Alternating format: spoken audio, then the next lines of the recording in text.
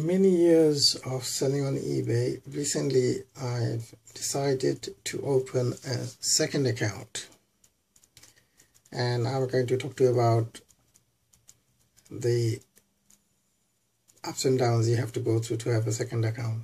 So before I've opened a second account, I've decided to give the give the eBay team a call.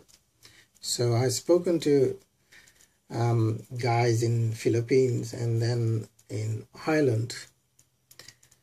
And assured them my intention of opening a second account. And obviously they asked me what I'm going to do. And believe it or not blatantly I told them I will use that account as a drop shipping now in eBay's terms and condition they do allow drop shipping but they say they they use this word called product sourcing. The same thing as drop shipping but it's called it comes under product sourcing okay? So what basically what ebay wants you to do is they want to keep their customer happy. Yes you you do like as an ebay seller you want your customer to be happy. Also they want keep their customer happy, their platform clean from scammers and what have you. So there's a procedure they go through, right? End of the day, eBay is not going to be harsh on you because you making money, they're making money, and end of the day, win-win situation. So uh, it's highly unlikely that you get banned or being silly is if you're thinking of having a second account or third account, make sure you have a chat with the eBay team first. And they will ask you question, specific question, what your intention, what you're you going to do, and blah, blah, all the rest of it. And you tell them the truth. Don't hide anything, just tell them the truth. And they much more happier you tell them the truth rather than lying and then start messing around. So and that would be my advice. If you start doing drop shipping things like that make sure because ebay knows everything about you. So it's not good um, you know telling them porkies. It's not going to get you anywhere. So so i decided i opened up a i um, second account. I linked it with my paypal paypal account and i'm good to go. Fantastic uh, the day I opened the account, I've loaded a couple of items and behold, after two, three hours, uh, my second account was suspended. A usual usual nonsense um, letter or email came from eBay, oh, you violated terms of condition of your eBay account, blah, blah, blah. Uh, we will suspend you any amount of money you owe us, we pay back. Um, and he went on and on. And he says, um, give you another email with security issue, blah, blah, blah. Although I told them what I'm doing, I've um, truthfully upfront about what's going on. So I was a bit annoyed. But my concern was it's okay if they shut the second account, it's only just started, so so what?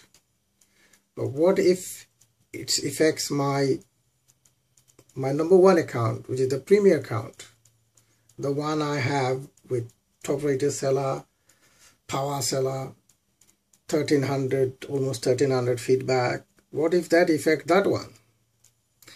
So luckily, instantly I went logged in another browser you know I use a different uh, I logged into the other account and I found everything is fine. But in the in the in, in the first email it says they will block my PayPal account. Unfortunately I went into PayPal account and that was working fine. No problem with that. Then the next day I've decided to give eBay a chinwag again. Give them a call. So I called them up and say hey, what's going on? Why have you shut uh, put a suspension on my account for. And I was upfront and good about it and instantly within 10 minutes they have reinstated my account. Fantastic. So that's a good, good thing. But the sad thing was as I experienced eBay seller I I had to put up with 20 listing first. 20 free listing so what did I do? I called back eBay again.